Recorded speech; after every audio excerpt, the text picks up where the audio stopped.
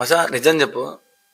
నీ అసలు అసలు ఈ యూట్యూబ్కి స్టార్ట్ అయింది? అదేమైందంటే మన నవీన్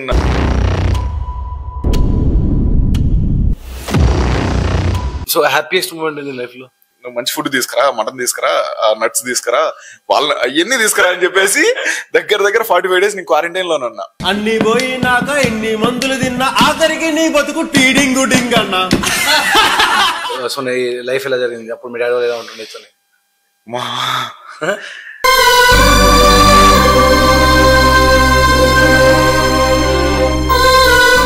మొత్తం నా పదిహేడేళ్ళ హాస్టల్ జీవితంలో మా నాయన నన్ను చూసింది రెండు సార్లు. నాను మాటకు అర్థమై ఉన్నది మీరొకరు. పెళ్ళి కాకపోతే పిల్లలేదు నాయన? పెళ్ళి కాకపోతే పిల్ల కంటే మా పెద్దోళ్ళు తల్లి వాళ్ళు కూడా అదే ఎందుకారా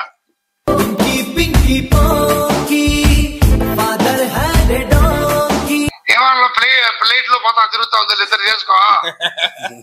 అమ్మాయి అమ్మాయి.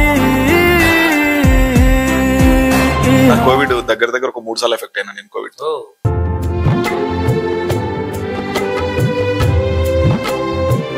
ఆ టైం కోవిడ్ వచ్చినప్పుడు సిక్స్టీ ఫోర్ పల్స్ రేట్ నాది. బా. At least dead.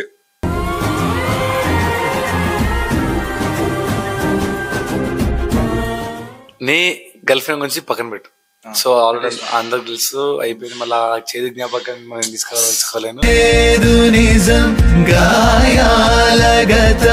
మనం ప్రేమని అమ్మాయి ఎలా అంటే అమ్మాయికి సంథింగ్ ఏదో ఉంది అని డిసీజ్ ఉంది అని చెప్పిన తర్వాత కూడా నేను మా ఇంట్లో ఒప్పించుకున్నా.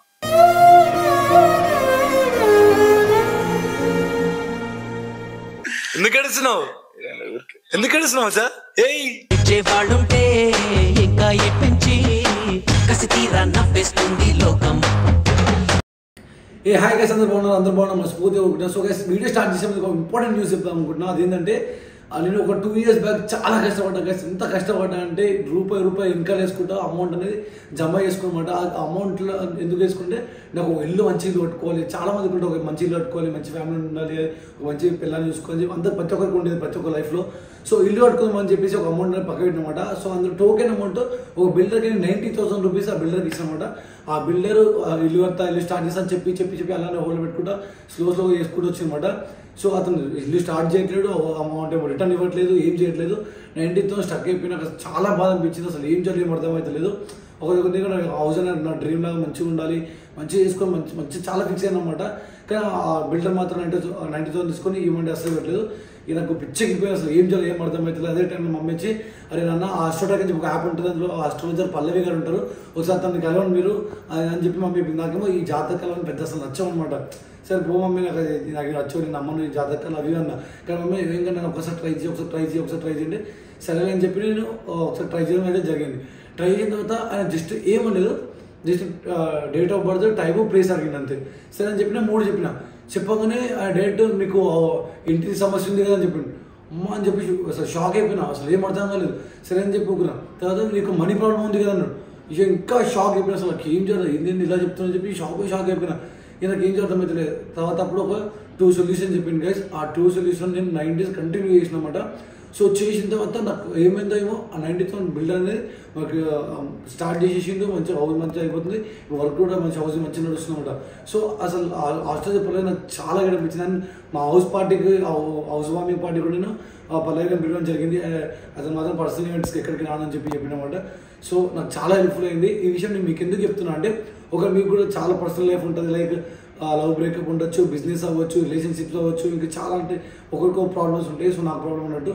సో మీరు కూడా ఒకవేళ అనుకుంటే మీరు కింద డిస్క్రిప్షన్ లింక్ పెడుతున్నాం. మీరు పర్లేదు మీరు ఒకసారి వెళ్ళి కాంటాక్ట్ అవ్వండి. ఎవరైతే కింద డిస్క్రిప్షన్ వెళ్ళి మెసేజ్ చేస్తారో వాళ్ళకి ఫస్ట్ చార్ట్ అయితే ఫ్రీ ఉంటుంది అనమాట సో గైస్ మీ ఇంకెందుకు పేజెస్ వెళ్ళైతే మీరు మాట్లాడండి. Thank you so much hello what's up man start back to our channel Shri Baba official welcome back guys ఈరోజు ఏంటంటే ఒక క్రేజీ వీడియో చెప్పబోతున్నా. క్రేజీ మూమెంట్ నేను చెప్పలేను. అలా మీకు తమిళ చూసి అర్థమైపోయి ఉండాలి. అండ్ భువనేశ్వర్ మచ్చ గురించి అందరికి తెలుసు లవ్ స్టోరీ తెలుసు అంతా తెలుసు. బట్ ఆయన అసలు ఈ ఫీల్డ్కి ఎలా వచ్చిండు ఏంటి అనేది ఒక లైఫ్ స్టైల్ చేయబోతున్నాం మనం ఫస్ట్ టైం నాకు భయం వేస్తుంది ఎందుకంటే మన మాటలకు ఎట్లా తెలుసు కదా. అండ్ ఇప్పుడు ఎంత హ్యాపీగా ఉన్నాం ఇప్పుడు సంపాదిస్తున్నాం ఛానల్ ఉంది కొంచెం ఫేమ్ ఉంది ఫాలోవర్స్ అంతా హ్యాపీగా ఉంది. బట్ ముందు మనం లైఫ్ ఏంది అసలు ఏంటి అని తెలుసుకునే ముందు మచ్చా అన్ని పక్కన పెడితే నువ్వు నవ్వా మాకు ఫస్ట్ చెప్పు చెప్పు చెప్పు. నీ గర్ల్ ఫ్రెండ్ గురించి పక్కన పెట్టు. సో ఆల్రెడీ అందరికి తెలుసు అయిపోయింది. మళ్ళీ ఆ చేదు జ్ఞాపకం మనం తీసుకురావాల్సుకోలేను లేదు నిజం గాయాల గతం మన ప్రేమని ఎందుకు వద్దంటారు? బేసిక్గా ఆ, నేను జీవితంలో ఫస్ట్ టైం ఒక అమ్మాయికి అట్రాక్ట్ అయ్యాను అనమాట ఎలా అంటే నేను అమ్మాయి మంచిది అందంగా ఉంది అదేం చూడలా. అమ్మాయి ఎలా అంటే అమ్మాయికి సంథింగ్ ఏదో ఉంది అని డిసీజ్ ఉంది అని చెప్పిన తర్వాత కూడా నేను మా ఇంట్లో ఒప్పించుకున్నా.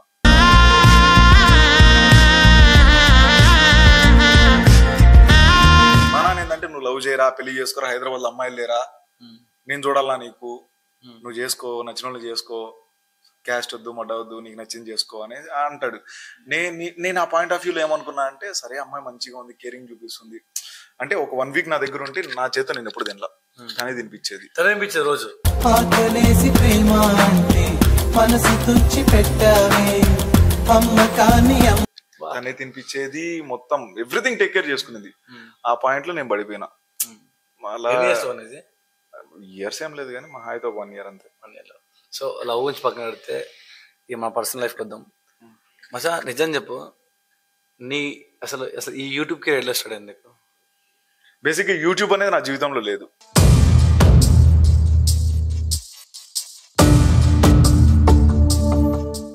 ఫస్ట్లీ నేను ఒక మీమర్ని మీమర్ అంటే తెలుసు ఇన్స్టాగ్రామ్ మీమ్స్ సో ఆ మీమ్స్ వేస్తూ ఉండేటండి. ఎప్పుడు టూ థౌసండ్ ఎయిటీన్లో నేను తెలుగు మీమర్ అనేసి ఒక పేజ్ స్టార్ట్ చేశాను సో హ్యూమర్ ఎక్కువ అనమాట అంటే ఇంట్రోవర్ట్ని. ఆ, ఎక్కువ బయట వాళ్ళతో కలవలేను. ఇప్పుడు పది మంది కూర్చున్నారు అనుకో సైలెంట్గా చేతులు కట్టుకుని ఇటు చూస్తా ఉంటా. ఏంది? ఆ, మాట్లాడుకున్నాం అనుకో. వాళ్ళు ఏదైనా మాట్లాడుకుంటా నేను గొప్పలు చెప్పుకున్నాను పూగా ఇంకేం లేదు అనుకో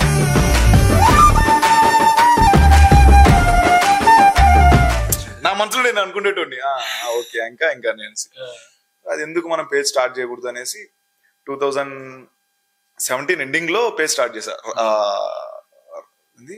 రాయలసీమ తక్స్ అనేసి.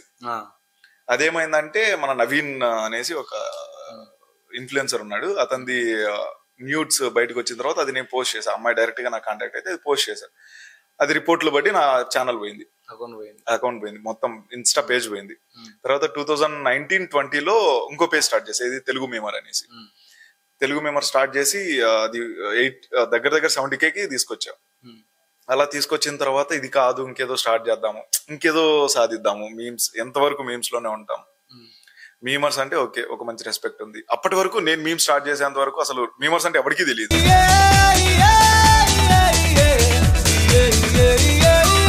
బేసిక్గా మీమర్స్ అంటే ఏంటంటే ఫేస్ చూపించారు ఎవరికి రివీల్ చేయరు.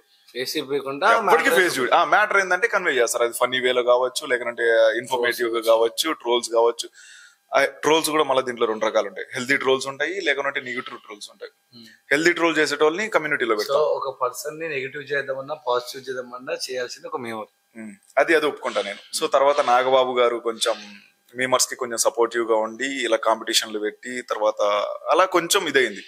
సరే మన మనకు ఇంత రెస్పెక్ట్ వస్తుంది డ్యూ రెస్పెక్ట్ వస్తుంది మనం ఇంకెందుకు ఇంకొక స్టెప్ ఎందుకు వేయకూడదు అని చెప్పేసి అనుకుంటూ ఉండే. అప్పుడు కోవిడ్ టైంలో నా కోవిడ్ దగ్గర దగ్గర ఒక మూడు సార్లు ఎఫెక్ట్ అయినా నేను కోవిడ్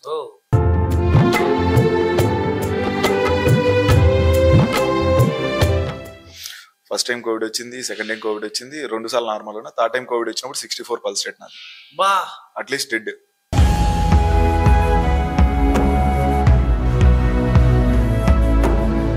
ఇంకొద్దిగా అయితే చచ్చిపోతా. అవునా? చచ్చిపోతా. ఆ టైంలో వ్యాక్సిన్స్ అదేదో వ్యాక్సిన్ వేయించుకోవాలా? అదేందో ఏదేదో ఇంజెక్షన్లు వేసి అసలు ఫుడ్ ఏం తిన్నా వాంతింగ్. అలాంటి సిచ్యువేషన్ నుంచి బయటకు వచ్చిన. వచ్చిన తర్వాత ఒక one and half month quarantine అయ్యా. వన్ అంటున్నావు ఫోర్టీన్ డేస్ కదా వన్ అండ్ హాఫ్ మంత్ ఉన్నా. దగ్గర- దగ్గర దగ్గర ఫార్టీ ఫైవ్ డేస్ పైన ఉన్నా. ఉమ్, ఎందుకున్నానంటే మా అమ్మ నాన్న మా వాళ్ళకి సపరేట్ ఇల్లు. నాకు ఒక్కడికి సపరేట్ ఇల్లు. అయ్యో. సో ఏంటంటే ఇల్లు అంటే ఇన్ ది సెన్స్ ఏంటంటే నేను మా ఇంట్లో బతకలే అంటే ఉండలేను మాది ఇరవై సంవత్సరాలు ముందు కట్టిన ఇల్లు ఇరవై ఐదు ముప్పై సంవత్సరాల ముందు కట్టిన ఇల్లు దాంట్లో ఏసీ ఉండదు ఏముండదు నేను ఉంటాను ఉండలేను అని చెప్పేసి మా నాన్న నా కోసం సపరేట్ కట్టించినాడు. ఆహా.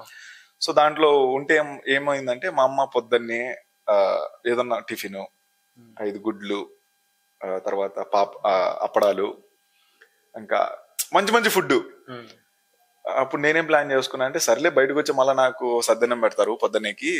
అదే కోవిడ్. అదే క్వారంటైన్లో నీకోసం నేను. కాదు క్వారంటైన్లో అనుకో మంచి మంచి ఫుడ్ పెడతారని చెప్పి క్వారంటైన్లో కూర్చున్నా. నలభై ఐదు రోజులు. అమ్మో నాకు దగ్గు వచ్చింది నువ్వు మంచి ఫుడ్ తీసుకురా మటన్ తీసుకురా నట్స్ తీసుకురా వాళ్ళ అవన్నీ తీసుకురా అని చెప్పేసి దగ్గర దగ్గర ఫార్టీ ఫైవ్ డేస్ నేను క్వారంటైన్లోనే ఉన్నా. అన్ని పోయినాక ఎన్ని మందులు తిన్నా ఆఖరికి నీ బతుకు టీడింగు డింగ్ అన్నా. తొమ్మిది కేలు పెరిగిన నలభై ఐదు రోజులు. అంత తిన్నా. వివత్సంగా తిన్నా. అట్ట జరిగింది. జరిగిన తర్వాత ఇంకా మా నాన్న నేను మా ఇద్దరి మధ్య కొంచెం స్టార్ట్ స్టార్ట్ అయినాయి గొడవలు. ఎందుకు? అంటే అదే ఏం చేస్తున్నావు? డిగ్రీ కంప్లీట్ చేయలా? ఏం చేస్తున్నా అప్పుడు నేను డిగ్రీ ఫైన్ థర్డ్ ఇయర్ అనుకుంటా. కరెక్ట్గా నాకు కోవిడ్ వచ్చిన టైంకి mid exams and semester exams రాయలా. ఎందుకు రాలే కోవిడ్ వచ్చింది. నా సెంటర్ వచ్చేసి తిరుపతిలో కృష్ణతేజ పడింది. వాళ్ళు ఫోన్ చేసి నాకేం చెప్పినారు? మీరు కోవిడ్ పాజిటివ్ వచ్చింది. ప్లీజ్ ఏమనుకోకండి మీరు ఎగ్జామ్ సెంటర్కి రాకండి ఒకవేళ మీరు వస్తే మొత్తం టీమ్ మొత్తం స్టూడెంట్స్ అందరూ ఎఫెక్ట్ అవుతారు.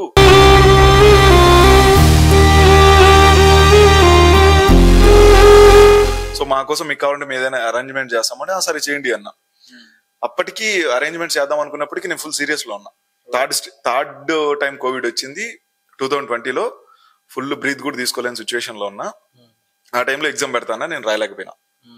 సో వాళ్ళు కూడా కొంచెం రిక్వెస్ట్ చేసుకున్నారు. ప్లీజ్ మీరు రాకండి ఎగ్జామ్ సెంటర్కి. మీరు అక్కడే కావాలంటే అరేంజ్మెంట్ చేసుకోండి. సర్లే లైట్ అని చెప్పేసి ఎగ్జామ్ వదిలే వదిలేసిన నేను. నాకు సర్లే మళ్ళీ చూసుకున్నాను అంతకుముందు ఒక్క బ్యాక్లాగ్ లేదు నాకు. అంత బాగా చదివేటండి ఇంగ్లీష్లో నైన్టీ ఫోర్ మ్యాథ్స్లో నైన్టీ ఫోర్ ఇప్పుడు ఆరు ఉన్నాయి ఆ సెమిస్టర్ అంతా ఉండదు అట్నే. రాయలా. ఆ, సెమిస్టర్ అంతా అట్నే పడిపోయింది. అంటే ఇంక ఇంటికాడికి పోయి మనకు తెలిసిందే కదా క్రికెట్ ఆడుకోవడం వాలీబాల్ ఆడుకోవడం. ఇవన్నీ పంచాయతీలు అన్ని రోడ్ల మీద దగ్గర దగ్గర ఆరు ఆరు నెలలు నేను ఎప్పుడు నా జీవితంలో ఇంటికాడ లేను. ఇంకొకటి హైలైట్ విషయం ఏంటంటే నేను ఎల్కేజీ ఎల్కేజీలో నేను హాస్టల్లో పడ్డా. పుడతానే ఎల్కేజీలో నన్ను ఎతకపోయి హాస్టల్ వేసినారు. మా ఊరికి మా హాస్టల్కి ఒక వంద కిలోమీటర్ నూట పది కిలోమీటర్ల డిస్టెన్స్ వస్తుంది. ఓకే. ఇవన్నీ పక్కన పెట్టు.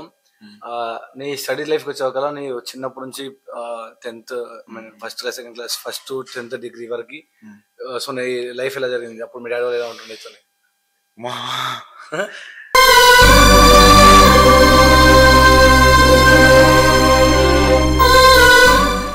వద్దు? చెప్పొచ్చా. ఏ అంటే నేను చెప్పినా కదా ఎల్కేజీలో నేను హాస్టల్లో పడ్డా. అంటే నేను చాలా అల్లరి చిన్నప్పుడే కొట్లా చిన్న నా బచ్చ కాడినప్పుడే అంత బెల్లం లేనప్పుడే పోయి కొడతా ఉన్నా. అంత తీటపు కొన్ని ఉమ్. గొడవలు అంటే బాగా ఇష్టం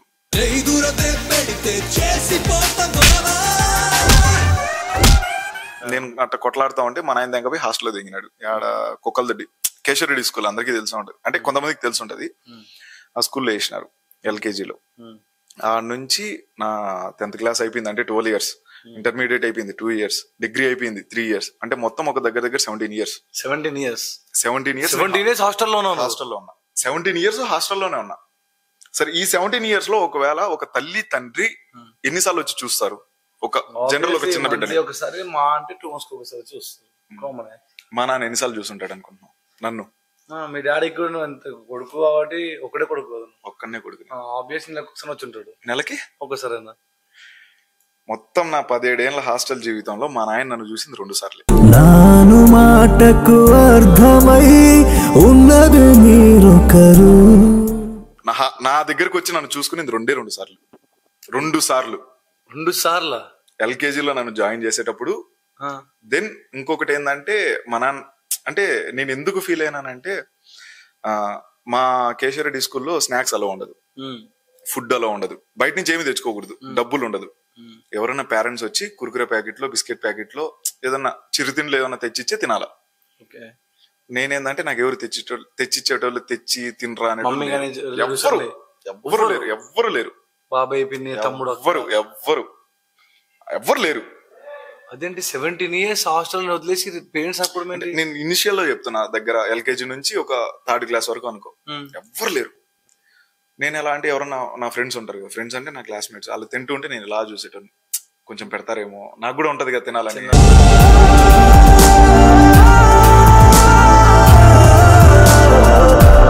కుర్కురే తినాలి బిస్కెట్స్ తినాలి. ఇంకేమైనా తినాలని ఉంటది కాబట్టి వాళ్ళ దిక్కే చూసేటోని. ఏమైనా కొంచెం పెడతారు నేను తిందాము అనేసి. పెట్టేటోళ్ళు కాదు. డాడీ ఎందుకు రాకపోతుండే అసలు?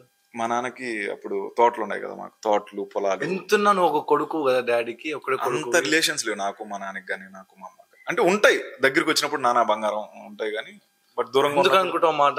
ఒక అంత లేనిదే నిన్ను ఆ, తిడతాడా? మీన్ ఇంకా ఇంత ఏజ్ వచ్చింది? మంచిగా ఉండు మంచి ఇదే ఆ, అదే. మా నాన్న ఏంటంటే పొలాలు ఉన్నాయి కదా. సో పొలాలు చూసుకుందాము అనేసి అటు అటు వెళ్ళిపోయినాడు పూర్తిగా. ఉండేది ఒకే కొడుకునైనా కానీ కొంచెం దూరంగా పెరిగిన. చాలా దూరంగా పెరిగిన. కొన్ని సంవత్సరాల వరకు నాకు అసలు మా నాన్నతో మాట్లాడదామనే నాకు భయమే. అంత దూరంగా పెరిగిన. ఎందుకు అంత భయం డాడీ అంటే? ఏమో అప్పుడు ఉండేది ఇప్పుడు లేదులే. ఇప్పుడు తిరగమల్తా. ఎందుకు? అంతే. అట్ట జరిగి ఎవరు ఫుడ్ పెట్టక అంటే ఫుడ్ అంటే ఇన్ ది సెన్స్ ఏమి తినక ఆ హాస్టల్ ఆ హాస్టల్ కూడా మన తెంగ ఎట్టుంటదంటే నాకు వస్తాయి ఇంకా.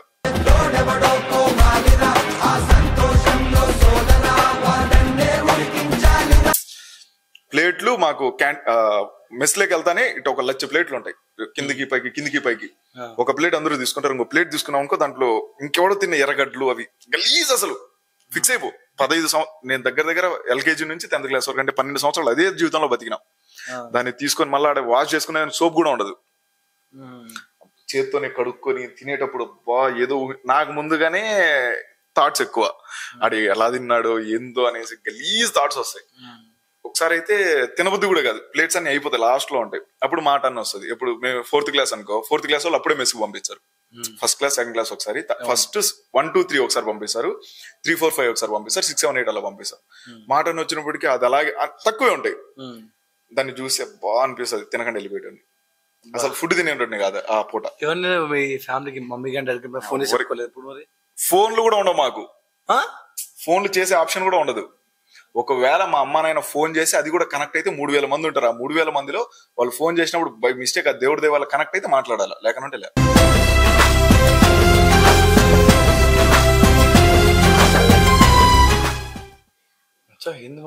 దేవుడు సాక్షిగా నేను చెప్పేది అబద్ధం కాదు. ఇన్ కేసు ఎవరైనా కేశవరెడ్డి స్కూల్ చదివిన వాళ్ళు ఉంటే మీకు అర్థమవుతుంది ఈ బాధ. నిజం చెప్తున్నా. అవునా? అంటే నేను స్కూల్ నెగిటివ్ చేయట్లేదు. స్కూల్ చాలా బెస్ట్ ఎలా అంటే ఒక మంచి డిసిప్లిన్ నేర్పిస్తుంది క్యారెక్టర్ నేర్పిస్తుంది. ది బెస్ట్ కాకపోతే ఏంటంటే ఆ సిచ్యువేషన్ నేను తీసుకోలేకపోయినా. అప్పుడు ఏం చేసినా? అదే బాధ అనుకో. ఇంక సిక్స్త్ క్లాస్లో ఏం చేసినానంటే చెయ్యి ఉంటది గుద్దిన గోడకేసి. ఎందుకు?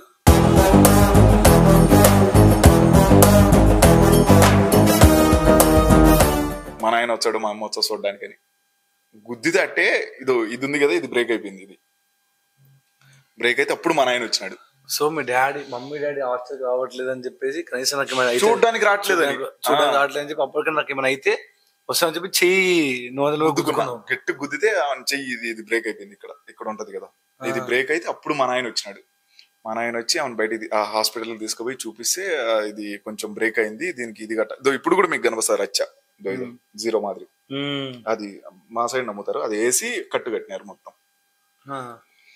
అలా జరిగింది. అప్పుడు మీ డాడీ నేను ఏమన్నా ఎందుకు గుద్దుకున్నావు అని? మా నాయనకి తెలియదు గుద్దుకున్నాను. చెట్టు నుంచి పడినా అని చెప్పిన. చెట్టు ఎందుకు ఎక్కినావు అన్నాడు. బై మిస్టేక్ ఎక్కినాలే పడినా అని చెప్పిన. తిట్టినాడు అవును హాస్పిటల్ పోయినాడు తీసుకుపోయినాడు. పదహైదు రోజులు ఇంటికన్నా దిల్కుష్. నీకు ఎక్కువ మమ్మీ ఇష్టమా డాడీ ఇష్టమా? అంటే ఇష్టం అంటే ఇద్దరు ఇష్టమే. మా నాయనకి మా నాయనకి ఎక్కువ నేను కనెక్ట్ అవుతా.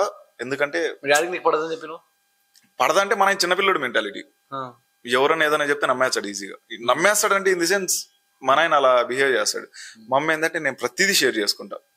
ఇప్పుడు ఏదన్నా నా బాధ వచ్చినా చెప్పుకుంటా హ్యాపీనెస్ వచ్చినా చెప్పుకుంటా. ఇంకా నాకు ఫినాన్షియల్గా మా అమ్మ హెల్ప్ చేస్తుంది మా అక్క హెల్ప్ చేస్తుంది. సో మా అమ్మ అంటే ఎక్కువ.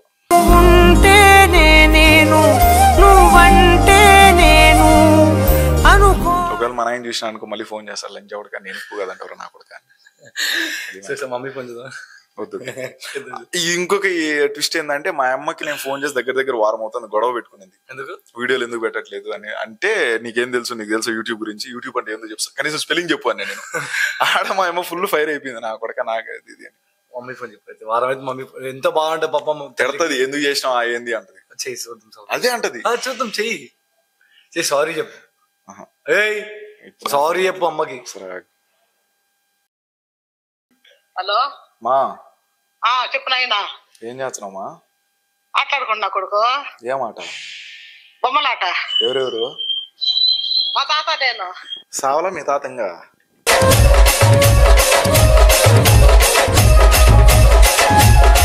ఆ ఉన్నాడు. ఏమి? ఉండించుకున్నా ఆడుకునేవాడు లేరని ఒరే ఒరే ఒరే ఒరే. మీ నాయన రామిరెడ్డి చచ్చినాడు కదా? మా నాయన వచ్చినాడులే మా నాయనతో ఏం పని నీకు? మీ తాత ఎట్ట బతుకున్నాడు కదా? బతికినాడు మీ మొన్నటి దాకా అంటే. మా జబ్బ చచ్చినాడు మొన్న. ఏం పని బాగుండా? బాగున్నా నారాయణ మనం ఎట్టుండవు బాగుండా. లవ్ యూ మా. బాబా లవ్ యూ టూ నైనా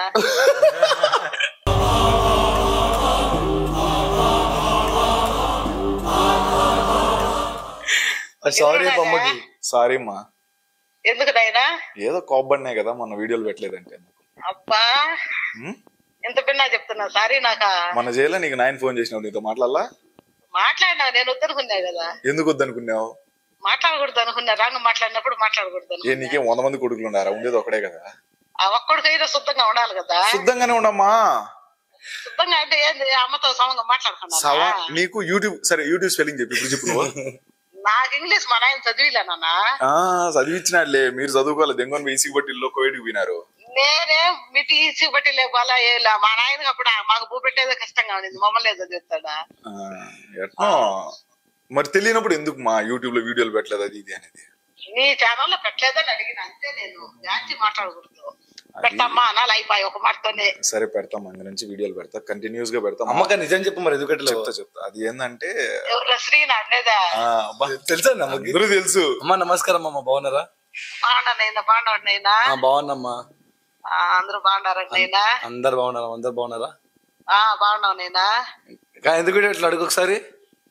అదే అడిగితే మాట అడిగిన దానికి కోప్పండి నైనా? కొత్త పిల్ల ప్రేమ. ఉన్ని? ఆ ప్రేమలో పడి మాయ ఇదంతా. ఆ ఉన్నీలే నైనా? ప్రియా ఇంటికి తీసుకొని వస్తున్నాం మవ్వు ఏంటికి? పెళ్ళి చేసుకొని. ఆ చేసుకో. ఏం చేసుకో? చేసుకోరా? నేనే ఉంటున్నాను. నీ ఇష్టం అది. నీ లైఫ్ నీ ఇష్టం. నేనే చేస్తానా?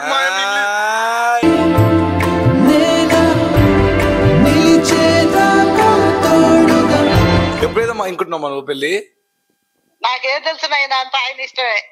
నే- వచ్చే సంవత్సరం చేసుకుంటా అంటుండు. అవును ఆ మాట అనుకుంటున్నాం. మీరు అనుకుంటున్నారు అప్పుడే? వాళ్ళే ఫోర్ చేసింది. వాడికే చెప్పింది. మీరు ఎప్పుడు చేద్దాం ఉన్నారు మా నాక? రేపు సంవత్సరం లాస్ట్ కల్లా చేయాలనుకుంటున్నాం. మామూలుగా ఏంటంటే ఈ సంవత్సరం అయిపోవాలి. ఈ ఇయర్కి నాకు పెళ్ళి అయిపోవాలా. ఈ ఇయర్ ఎండింగ్ కల్లా. బట్ ఏంటంటే లేదు ఇంకొక సంవత్సరం ఎక్స్టెండ్ అయింది. అమ్మ ఒకటి అర్థం నిజం చెప్పు.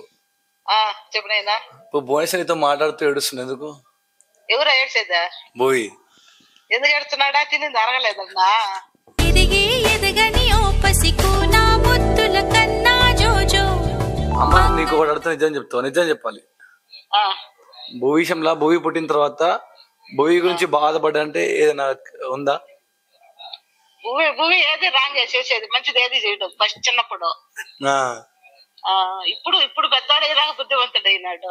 బుద్ధివంతుడా ఆ బుద్ధివంతుడు మీ దగ్గర మాత్రమే బుద్ధివంతుడు హైదరాబాద్లో వెళ్తున్నాడు నీకు ఎంత మంది కూడలో నీకు తెలియదు. గమ్ముండు. చెప్పాలి పని చేయడు చేయడు. నాకు తెలుసు ఆ విషయం. నాకు చెప్పకుండా ఏ విషయం చేయ పని చేయడు అనమాట అంతేలే మా అమ్మ కూడా నమ్మదు. సరే అమ్మా కాదు. మా మా చిన్నప్పుడు ఎవరిని కొట్టేవాడిని కాదు కదా మా నేను? ఒకటి సైక్ వచ్చి కూర్చుంటావు ఇంట్లో. ఏమి తెలియని అమాయకుడు మాదిరి కూర్చుంటావు నైనా ఆ, బుద్ధిమంతులా యాక్టింగ్ మళ్ళా ఇప్పుడు చేసేటువంటి రంగ పనులు. కాదు కదా? మా చెట్టుపై నుంచి నేను దూకలా కదమ్మా ఇప్పుడు? అదే దోకలు చేయించుకున్నావు చెయ్యి కావాలని ఇడ్చుకొని మీరు రావట్లేని చెప్పి ఇడ్చుకున్నంట గోడ గుద్దిండంట అదే ఎరవ దూకేది ఆయన కూర్చుండేది ఆడ రావట్లేదు ఎందుకు ఏడుస్తున్నావు? ఎందుకు ఏడుస్తున్నావు సార్? ఏయ్! కన్నిటి దార కంట జార ఆనాడు లేని కన్నీళ్ళు నేడా. అమ్మ ఒట్టు. నిజం. ఎందుకు వచ్చా? ఏం లే ఏది ఎందుకు ఏమైంది చెప్పమా ఏం ఊరికే అన్ని గుర్తు వస్తున్నాయి ఒకేసారి ఏ పిచ్చోడా నువ్వు చేసిన చిల్లర పనులే కదా నేను ఎన్ని చిన్నప్పుడా ఏమో అవన్నీ తీపి జ్ఞాపకాలు ఏడోకి మచ్చా పిచ్చా ఏయ్ నువ్వు ఏడోకి నాకు ఏడుపు అచ్చా ఏయ్ చెప్పమా ఏడవద్దు అమ్ముంది సర్లే. బాధపడతా ఇడా లేదు లేదు. ఏం ఆ? బాగుండా తిన్నామ్మా. ఏం తిన్నావు తెల్లా మటన్. మటన్ తిన్నావా? మటన్ కర్రీనా ఫ్రైనా? Gravy gravy. గ్రేవీ.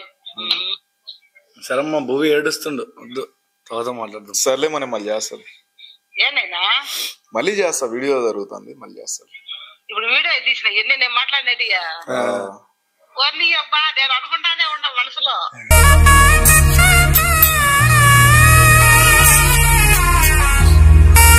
నానా బాగున్నావు నానా?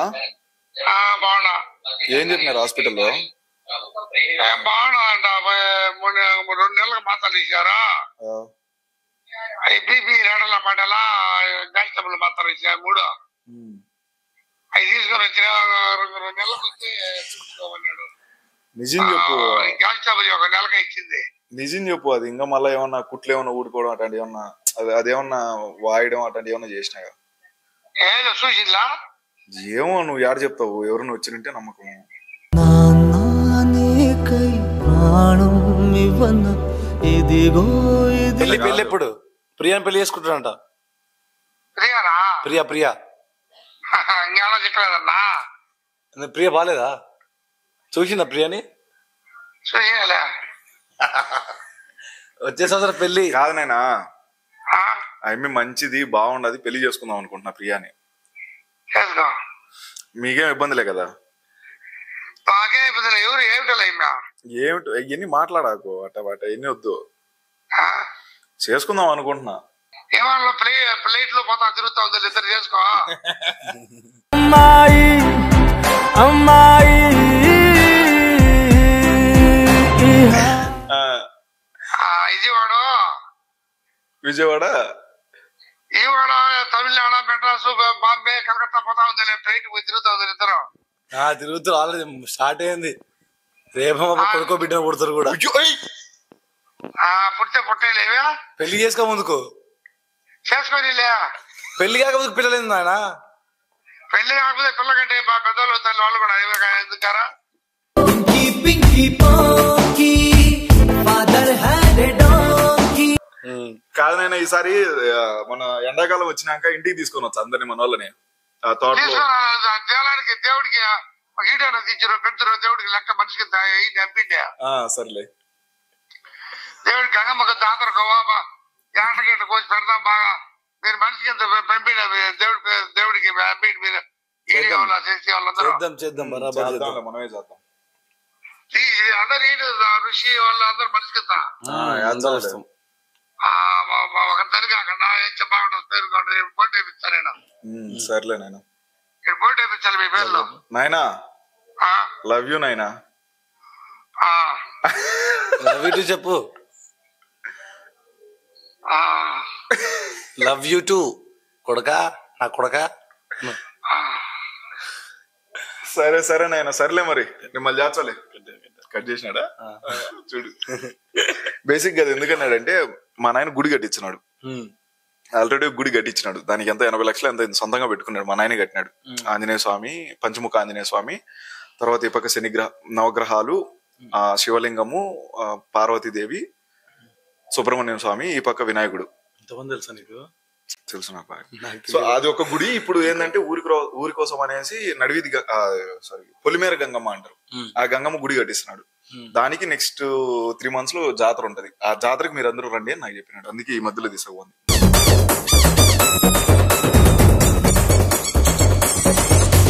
మళ్ళీ మళ్ళీ చేస్తాం ముద్దు సాల్ సో ఒక్కడు చెప్పు. నీ లైఫ్లో బాధాకర విషయం ఎప్పుడు వచ్చింది అంటే బాధాకరం అంటే పర్సనల్ లైఫ్లో వచ్చేసి నా బ్రేకప్ అయినప్పుడు. ఇంకా అంతకంటే ఎక్కువ అంటే మా నాన్నకి హార్ట్ స్ట్రోక్ వచ్చి తర్వాత మళ్ళా సర్జరీ మొన్న రీసెంట్ ఇప్పుడు కూడా అదే మాట్లాడుతున్నాడు. ఈరోజు చెకప్ చెకప్ పోయి వచ్చిన అనేసి ఇది నేను తీసుకోలేకపోతున్నా. నాకున్నది ఒకే ఒక సపోర్ట్ మా నాయన. నేను తప్పు చేసిన ఇప్పుడు ఇప్పుడు కూడా నేను లవ్ చేసిన ఆయన ప్రెగ్నెంట్ అంటే తీసుకురాని వాడు పెరిగితే పెరుగుతాడు వాడితో పాటు పెరుగుతాడు. ఇంత సపోర్ట్ నాకు మా నాయన. కాకపోతే అంత. నిజంగా అలాంటి సపోర్ట్ ఏ డాడీ ఇయ్యాడు ఎందుకంటే అంటే పిల్లలతో మాట్లాడాలి డాడీతో మాట్లాడదాం తీసుకొద్దాం అంటారు కానీ ఎంతో స్పీడ్ ఉన్న అంకుల్ కూడా ఇచ్చి పడేస్తారు. ఇంకొకటి ఏంటంటే మా నాయనకి అరవై ఎనిమిది సంవత్సరాలు అంటున్నాడు డెబ్బై రెండు ఈజీగా ఉంటాయి. మన ఆయన తగ్గించుకుంటాడు తొంభై మూడు కేజీలు అంటే డెబ్బై సరే అరవై ఎనిమిది అరవై ఎనిమిది సంవత్సరాలకి డెబ్బై మూడు తొంభై మూడు కేజీలు అంటే ఎవరన్నా నమ్ముతారా ఇట్టుంటాడు మా నాయన ఇట్ట. నిజం నేనే ఇంకా బక్కగా ఉన్నా మా నాయన దిష్టి అందరూ దిష్టి తిండి సో హ్యాపీయెస్ట్ మూమెంట్ ఇన్ లైఫ్లో? హ్యాపీయెస్ట్ మూమెంట్ అంటే టు బి హానెస్ట్ నేను ప్రతి మూమెంట్ ఎంజాయ్ చేస్తూ ఉంటా. బట్ రీసెంట్ టైమ్స్లో ఎస్ఆర్ టీమ్లోకి వచ్చిన తర్వాత ప్రతిరోజు ఎంజాయ్ చేస్తూనే ఉన్నా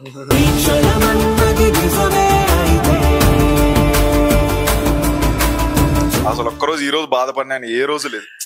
అందరితో చిల్ అవ్వడం ఇప్పుడు మావాడు కావచ్చు రిషి కావచ్చు మా మౌనిక కావచ్చు చెల్లెలు సనా కావచ్చు అందరూ ప్రతి ఒక్కరితో అన్న అన్న అన్న అన్న.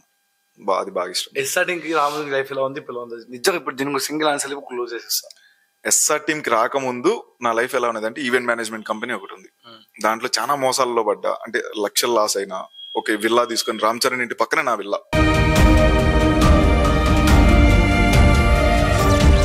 Office Ram Charan office ఇండ్లు ఉంటే దాని పక్కనే నా ఆఫీస్ పెట్టా. రవితేజన్లు కూడా పక్కనే. ఆఫీస్ రెంట్లు కట్టుకుని అన్ని కట్టుకుని ఆడ మోసం అయిపోయి బయటకు వచ్చిన. ఏం చేద్దాం ఏం చేద్దాం అనుకున్నప్పటికీ కాట్రాజ్ ద్వారా నేను రిషి దగ్గరకు వచ్చా. వచ్చిన తర్వాత ఇప్పుడు డూయింగ్ గుడ్ అంతకుముందే నేను ఒమేగల్ చేస్తూ ఉండే. చేస్తూ ఉండే కానీ ఇన్స్టాగ్రామ్లో మిలియన్స్ వెళ్తూ ఉండే యూట్యూబ్లో కూడా లాక్స్ వెళ్తూ ఉండే కానీ అంత ఇది లేదు. ఎస్ఆర్ టీమ్లోకి వచ్చిన తర్వాత బయటకు అన్నా ప్రియ వదిన ఎలా ఉంది? అన్నా రిషి ఎలా ఉన్నాడు? శ్రీ ఎలా ఉన్నాడు? ఒకసారి మాట్లాడిస్తాను అలా ఉంది. సో ఇంకొకటి ఏంటంటే మా నాయనకి సర్జరీ అయ్యేటప్పుడు కూడా ఆ నర్సులు కూడా మన సబ్స్క్రైబర్స్ ఎస్ఆర్ టీమ్ వాళ్ళు మా నాయన్ని ఆన్నే కూర్చొని చూసింది. ఇది కావాలంటే మళ్ళీ మా నాయనతో మాట్లాడిచ్చా. ఎస్ఆర్ నన్ను చూసి మీరు భువనేశ్వర్ కదా అంటే అవును అంటే అన్న మీ అగ్గిపెట్టి మచ్చ వీడియోలు చూసినాను రిషి అన్న అంటే నాకు బాగా ఇష్టం శ్రీ అంటే ఇష్టం అని చెప్పేసి మా నాయన ఐసీసీయు ఇంటెన్స్ క్రిటికల్ కేర్ యూనిట్లో ఉంటే అక్కడ మా నాయన బెడ్లో ఉంటే బెడ్ పక్కనే కూర్చుంది టేబుల్ వేసుకొని. అంత బాగా చూసుకున్నారు. సో ఎక్కడైనా మా సబ్స్క్రైబర్స్ మా ఫాలోవర్స్ ఎప్పటికీ ఇలానే ఉంటారు. So thank you so much మన భువనేశ్వర్ మధ్య ఆ, బయటికి ఏడుపు తక్కువ కానీ లోపల బాధ లే, బయటికి చాలా నవ్వుతూ ఉంటాడు నవ్వుతూ ఉంటాడు. ఒక్కళ్ళే ఉన్నప్పుడు చాలా మెంటల్గా డిప్రెస్ అవుతుంది అందుకే అందుకే మేము ఎప్పుడు కూడా మాతో తిరుగు మాతో ఉండి ఎప్పుడు ఎప్పుడు ఫ్లాట్లో వండుకోకని చెప్పి నేను కూడా ఏంటంటే నేను టూ ఇయర్స్ హైదరాబాద్లో అంటే టూ ఇయర్స్ సింగిల్ గానే ఉన్నా. ఒక్కడిని రూమ్ తీసుకొని ఉన్నా. ఎవరు ఇంకొక- ఇంకొకరు కూడా? వస్తే కూడా నాకు నచ్చదు. స్టిల్ నవ్ ఆల్సో ఇప్పటికి కూడా నేను సింగిల్ ఒక్కడే గానే ఉంటాడు. అందుకే మేము చెప్తే వద్దు మచ్చా మాతో. అందుకే రమ్మంటారు అందుకే మేమే పోతాం ఫ్లాట్కి సో అట్లా అనమాట నేను మచ్చమని చెప్పాల్సింది ఏంటంటే బేసిక్గా రిషి గారు తీసుకొచ్చిండు. బేసిక్గా రిషి ఏదైనా నాకు నాతో షేర్ చేసుకుంటారు అనమాట అరే ఆ టీమ్కి ఇలా ఒక పర్సన్ తీసుకొద్దాం అనుకుంటున్నా అలా అనుకుంటున్నా ఇలా అనుకుంటున్నా అని ఈచ్ అండ్ ఎవ్రీ మూమెంట్ ప్రతి చిన్న నేను రిషి డిస్కస్ చేస్తాం. బట్ మచ్చ నాతో ఏం డిస్కస్ చేయలేడు. వాళ్ళు మన పోతుండు వాళ్ళ రూమ్కి వెళ్తుండు ఎంజాయ్ చేస్తారు వస్తారు నడుస్తుంది ఎవరో బయట ఫ్రెండ్ ఏమో అనుకున్నా అప్పటి వరకు కూడా. మనోడు ఒకసారి ఇట్లా ఒమేలు కంటే అవునా? హే హాయ్ బ్రో హాయ్ ఇప్పుడు పెద్ద ఏదో నరేంద్ర మోడీ పోయినట్టు. హాయ్ ఓకే బాయ్ నాకు ఎక్కువ ఎవరితో బయట పర్సన్ అసలుతో అసలు నాతో అవ్వదు మెసేజ్ మెసేజ్ కానీ డైరెక్ట్ ఫేస్ టు ఫేస్ మాట్లాడలేదు అనమాట ఇక నాకు ఎక్కువ షై అనమాట మనం హాయ్ బ్రో అని చెప్పి లైట్ తీసుకుని అయిపోయింది. వన్ మంత్ అయిపోయింది టూ మంత్స్ త్రీ మంత్ అప్పటికి త్రీ మంత్స్ దగ్గరకు అయితే టూ మంత్స్ త్రీ మంత్స్ కూడా అవుతుంది ఫోన్లో కాంటాక్ట్ నెంబర్ కూడా మా ఇద్దరికి లేదు. లేదు ఇద్దరికి లేదు. రిషి పోతాడు మాట్లాడుకుంటూ వస్తుంది రిషి కూర్చొని మాట్లాడే అప్పుడు ఎప్పుడు అవ్వాలి లేదు. ఇక ఒక్కసారి కూర్చున్నాం. ఇక ఈ రోజు దాకా ఇక వీడియోలే అతకపోవడం ఐస్ అతికి- ఐస్కందంలా అతికిపోయినాం. సో ఇప్పటికి ఇప్పటికి మనోడి బెడ్లో నేనే ఆ, పడుకున్నా నా బెడ్లో మనం అనుకుంటున్నాం అమ్మాయి లేదు.